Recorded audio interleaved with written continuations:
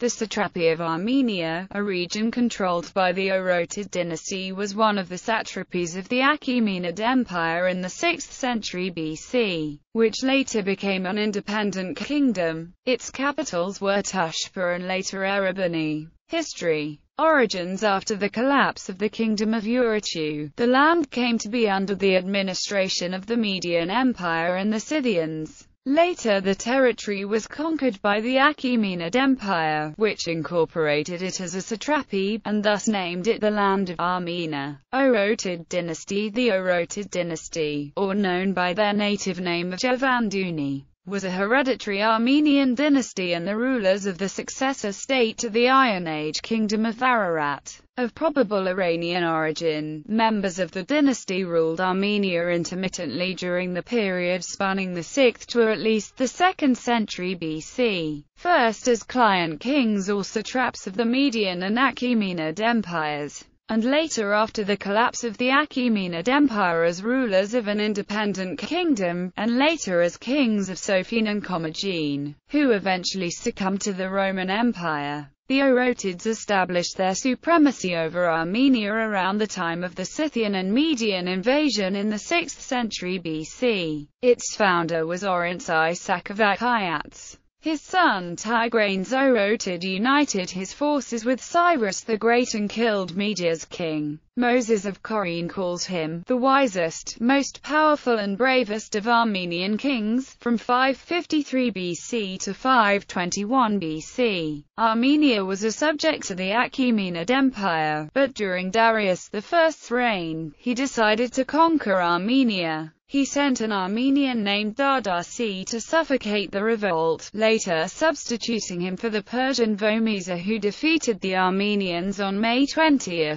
521 BC. Around the same time, another Armenian by the name of Araka, son of Haldita, claimed to be the son of the last king of Babylon, Nabonidus and renamed himself Nebuchadnezzar IV. His rebellion was short-lived and was suppressed by Intaphernes, Darius Urbocaria. After five raids Armenia resisted. Greek commander and historian Xenophon provided important information on Orontid Armenia. After the Battle of Gaugamela, Orontes III restored independence in Armenia, but in 2001 BC, Armenia was conquered by Artashes, an Armenian commander of the Seleucid Empire, who was also a descendant of the Orontid dynasty. The last Orontid king Orontes IV was killed, but the Orontids continued to rule in Sophene and Commagene until the 1st century BC. In two inscriptions of King Antiochus I of Commagene on his monument at Nemriton Orontes, called Oroandes, is reckoned, among others,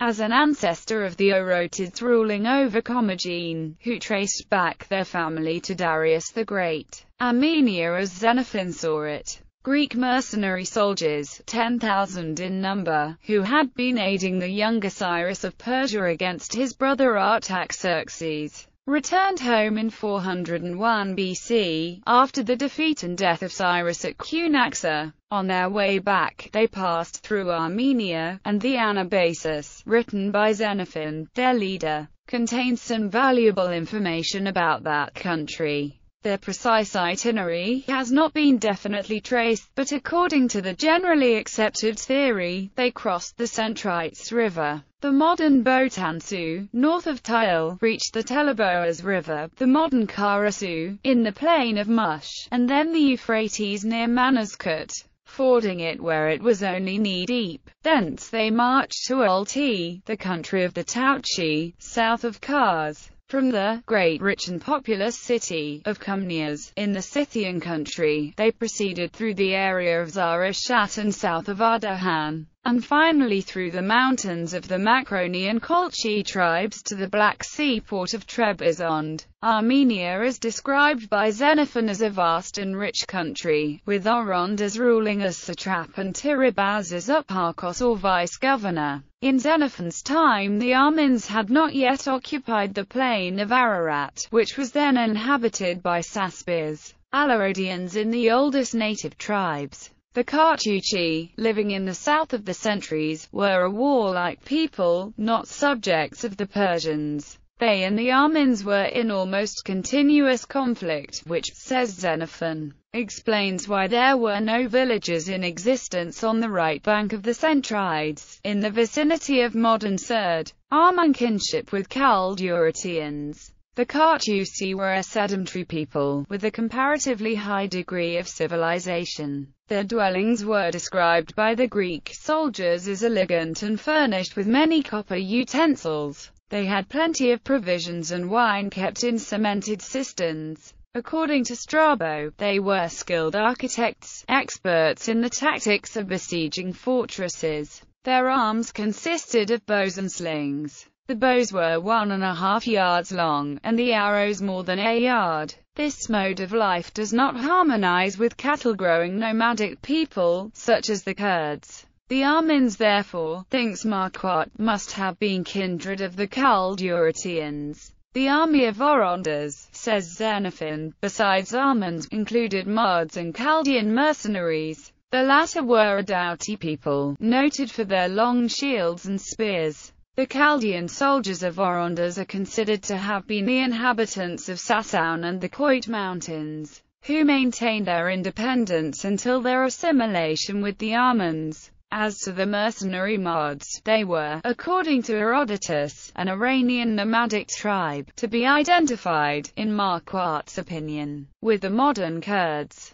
The 10th-century Arabian historian Masoudi states that the Kurds acknowledged as their ancestor the chieftain Kurd, the son of Mard. In Armenian history the Kurds have been known as the Mar people. The district of Mardistan, in historic Armenia, corresponds to Artaz west of the modern Maku, South Iran. The district of Mardali must have been located to the south of Erzurum, north of the Bingöl sources. The Mards of this section of the country were evidently immigrants from the south, says Adontz. The bulk of the tribe occupied one of the southern areas of Vaspurakan, near the upper course of the Centrites River. Xenophon mentioned particularly the extremely fierce and hardy Chalybes tribe, called Choldaiwa by Strabo, living in the Pontic Mountains, and mostly engaged in iron mining and forging. Several authors classify this people as being of the same stock as the Khaldo-Urartians the Tauchi and the Phasian tribes, neighbors of the Chalybes, who likewise offered stiff resistance to the Greeks, are represented in the Taiq and Pajan districts of Armenia. The above-mentioned tribes and several others, including the Cimmerian Scythian settlers from southern Russia, dating from the 8th century BC, were all independent of Persia. Scythian tribes, the Saspers of Herodotus, had occupied considerable areas extending from Colchis to Media, around modern Nakhchivan and as far as Kars, Leninakan and the plain of Ararat. Alongside the Cimmerians and Scythians should be listed the Sarmatian tribe, which includes the Siraks and the Gogs after whom the Armenian provinces of Shirak and Gugark seem to have been named. The Mesoshmushkans, the Erushans, and the Paktians were also among the inhabitants of the Armenian plateau, each having its own language or dialect, and particular kind of social life and culture. They were all eventually assimilated with the Armenians, adding their numbers to the larger elements from the Chaldean and the Hittites. Armen economics and commerce Despite the agreement entered into between Tiribaz and the Greek chieftains, some of their soldiers, insolently, burned some of the villages where they were to stop. They even had the audacity to capture the tent of Tiribaz, who, relying on the treaty, seems to have been unprepared, and carried away his silver-footed bedstead and his cups, as well as his bakers and cupbearers. Finding the villages evacuated, the Greeks spent seven days in sumptuous eating and drinking. The tables everywhere were loaded with the meats of lamb, goat, pig, veal and chicken, as well as bread of barley and wheat. They drank beer from a great jar, sucking it through a tube. The horses of Armenia, says Xenophon, were smaller than those of Persia, but livelier. Being told that horses were sacrificed to the sun, Xenophon gave his old horse, in exchange for a foal, to a village chief, to be sacrificed. After being fattened, land of plenty, Besides plenty of wheat, barley and cereals, the Arman villages had in store raisins, perfumed wine, sesame, fragrant oil of almonds and turpentine. The people were both cattle breeders and agriculturists. They exported many horses. Herodotus calls the Armans polyprobatoires, rich in animals. Distinction should be made, however, between the civilization in the different parts of the country. Stately houses with towers on the banks of the Centrites River were in striking contrast to the underground dwellings near the sources of the Euphrates. The rural life of the Armans was indicative of a patriarchal or family character. A group of villages was surrounded with barricades and was governed by a village chief or Kamach representing the satrap. Payment of taxes to the Persian king was made collectively. The absence of cities was noticeable. Various clans, settled in villages under local chiefs, supplied a specified number of soldiers to the army of the nearest petty king. A general of Darius was one of these kings.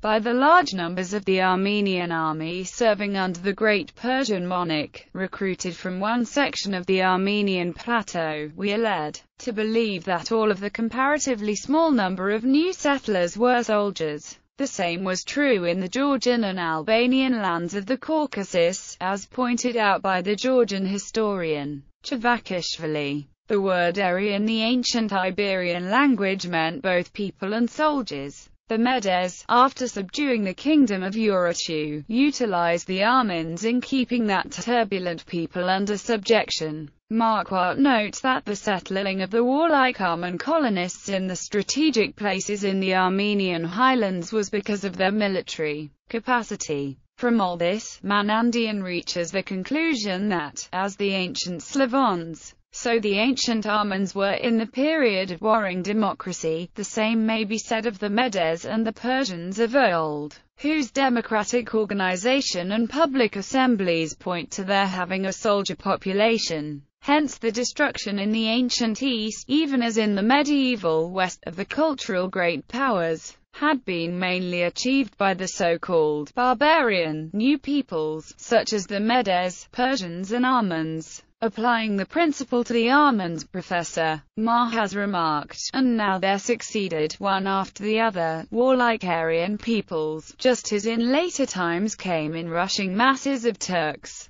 These Aryan races who, at that time, were certainly savages by comparison with the natives, were nevertheless strong in their military organization, and subdued the culturally higher races intermixed with them and created a new world. Attention is called by Manandian to the fact that the commercial intercourse between Babylon and Armenia was carried on for the most part by the Assyrians. Business transactions, limited in Armenia in those days, were principally in the hands of the Semitic peoples, while the Armenians were essentially farmers and cattle breeders.